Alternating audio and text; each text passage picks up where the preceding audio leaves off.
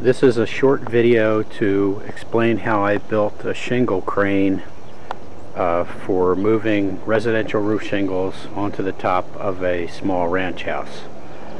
I was faced with a 30 square double tear off and I was interested to find a way to move the shingles to the top of the roof by myself and I looked on YouTube and saw quite a few different versions of shingle lifts that use ladders and gravity, uh, that sort of thing. But the problem I saw with th that type of a lift was that you ended up having the shingles on the eave of the house where they had to be carried up to the peak in order to do the tear off or work on the roof. Um, I did the whole house as a top-down shingle so I didn't have to do the whole thing at one time. I just did a section, you know, whatever I could tear off in a day and put back in a day, that's what I did. So this came in really handy. I don't think I would have been able to do the job if I did not have this crane. So here's how I made it.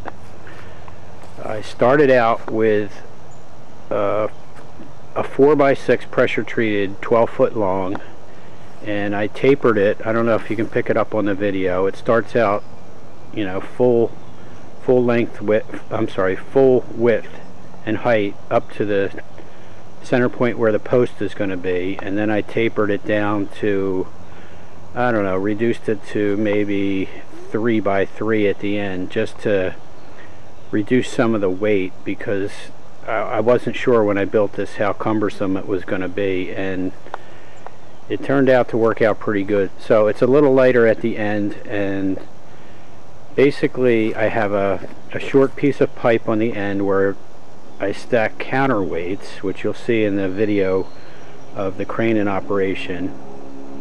Uh, half inch pipe with a floor flange, nothing fancy. The, the winch is a I'm not sure. I forget what the duty rating is. 400 pound. I can read it on the top. So it, it can easily lift a bundle of shingles. And that has a up and down hand control. So very easy to use, very simple. It's got a weighted end that keeps a little bit of pressure on the cable when there's nothing on it. For the center post, for the bearing point, I'm going to tip this up. I used an old cut off from a pipe column. You know, I'm the kind of guy like I'm sure a lot of guys that watch YouTube videos and work around construction save little bits and pieces in the off chance that someday you can find a home for them. So this found a home in the bottom of my crane and I had to bush it out a little bit with I used PVC pipe and some sheet metal to fit the column that I was going to use which is a piece of I'm pretty sure it's schedule 40 galvanized pipe and it's a fairly heavy piece of pipe.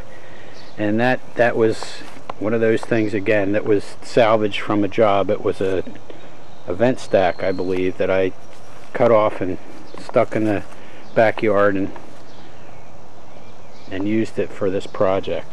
The center support post for the cabling that I have here is a piece of three quarter inch pipe with a floor flange and a T at the top. And the cable runs from the back up over and down to the front. And just drilled it through and used some used the turnbuckle in order to put the tension on it. Now this cable is very important because it it distributes the load back down to the center point of the column. So when it's under load it's really not in a perfect world all of the weight is going to end up on the center column because of the way this cabling transfers the the load. I'm not an engineer but I do have some practical engineering in 30 years of design and construction so most of this stuff is available if you if you google it you can find a lot of information about how far these points need to be from one to the other in order to counterbalance, say, a bundle of shingle weighs 80 pounds at the end. So it's good. There's tables that will tell you, based on the distance between the center point and either end, how much counterweight you need in order to have an, the crane balance neutrally. So the problem that you run into with that is when the crane is under load you could have the exact amount on this piece here that would make the crane swing very freely and with little effort at all. The only problem with that is when you offload the bundle of shingles now you're loaded heavily on this end and it makes the shingle or the crane rather a little bit difficult to swing around because all the weight is on the end. Now what I found was this this short socket here goes on top of the pipe column and when you swing the crane even though this is was greased it went to the path of least resistance which was the 2x10 that I had down on that floor of the attic the center column pipe was cut through the roof at the ridge.